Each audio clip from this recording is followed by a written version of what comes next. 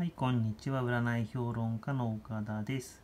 えー、今日はお稲荷さんについてお話をしてみたいと思います。稲荷信仰と言いますのは、そのまあ眷属ということで白い狐ですね。その信仰から始まっていると民族学では言われています。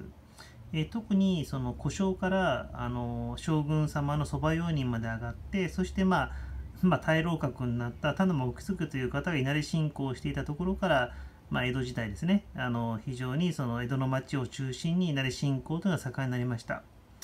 えー、まあ、注意点としましては、まあ、伏見稲荷、豊川稲荷ありますけれども、やっぱり尊敬の念を忘れないということですよね。ですから、大谷様の祠がある方はきちんと、まあ、ちゃんとお祭りをする。もし潰すんであれば、きちんと神主さんを呼んで抜いていただくという感じの真摯な、まあ、気持ちですかね。そういうものが必要ではないかと思います。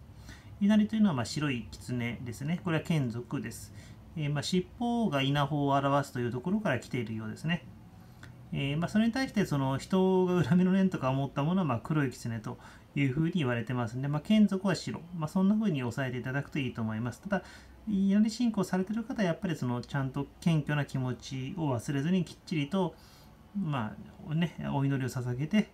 えー、ということが大事だと思います。もし潰すんであればきっちり、えー、神主さんを呼んで、元のところの伏見とか豊川にお返しになった方がよろしいというふうに思います。